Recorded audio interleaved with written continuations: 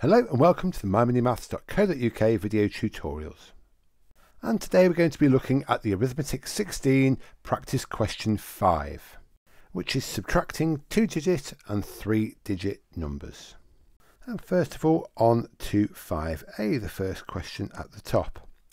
Now, it says here, we have an answer, and that is the same, it is equal to 54 subtract 33. Now don't forget, it doesn't matter which way around we write this. We may decide to change it around if you find it easier. But just remember, they are identical. And so, we can then actually calculate the missing number here. So, we have 54, and we are subtracting 33. So altogether, that's 4 subtract 3, which is 1.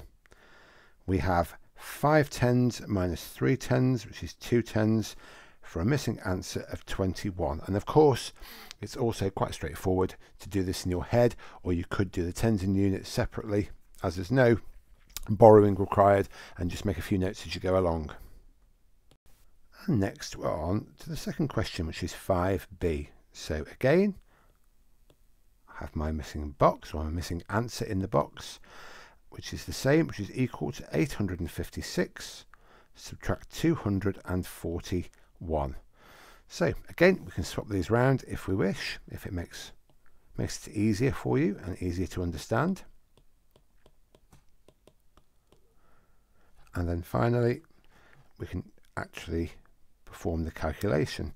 So 856 in the hundreds, the tens, and the units column and we're going to subtract the 241. So first of all, we have the units column here, which is 6 subtract 1, which is 5. Then we have the tens column, which is 5 tens subtract 4 tens, which is a single 10. And then finally, the hundreds column, we have 8 hundreds subtract 2 hundreds, with which is 600, for a final answer of 615. And next we're on to 5c, the third question, which is 83, and we're going to subtract 25.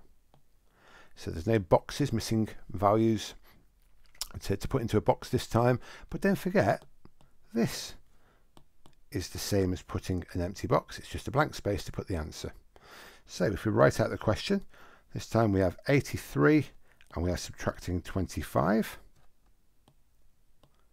This is in our units and in our tens. And so the first question, we have three units, take away five units. Right, well, if I have three apples, I can't take five away. So what I'm going to need to do is move over to the tens column and borrow one of these tens. So the eight tens now becomes seven tens.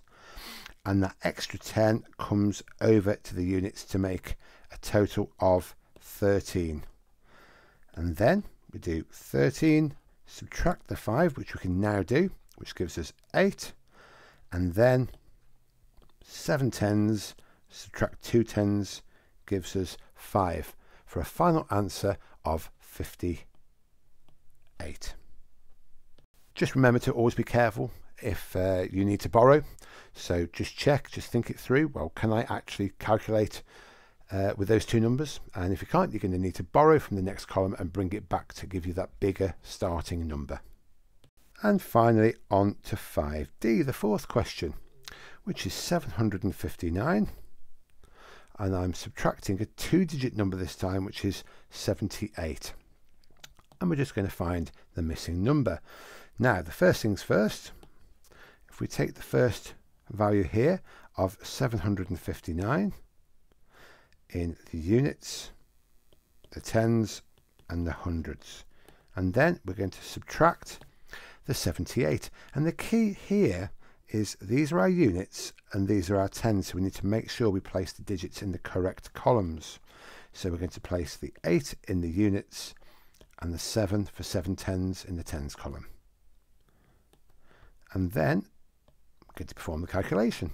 So first of all, we have 9 units take away 8 units, which is 1 unit. Then we have 5 tens subtract 7 tens. And again, the 7's too big for the 5, so we need to move over to the hundreds column. So it was 700s. We're borrowing 100 to bring it over here to give us a total of 15 tens. And we have 600s left here. So we have 15, take away 7 tens, which is 8 tens. And then finally, the 6 subtract nothing gives us a final 600. So for a final answer of 681. Thank you very much for listening today, and I look forward to speaking to you again soon. And don't forget to subscribe to the My Mini Maths video uh, tutorial channel for the latest updates and for any new videos uh, that are being released.